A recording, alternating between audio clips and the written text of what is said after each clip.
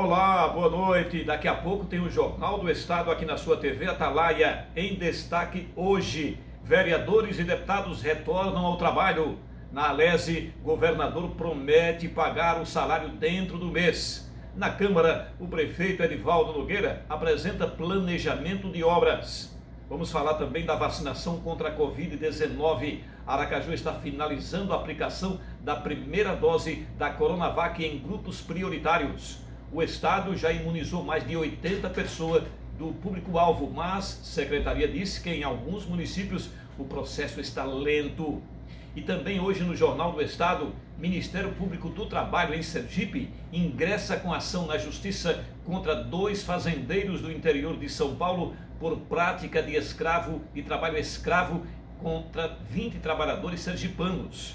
Essas e outras notícias daqui a pouco no Jornal do Estado, às 5 para 7. E eu espero você. Até já. Foi. Vai.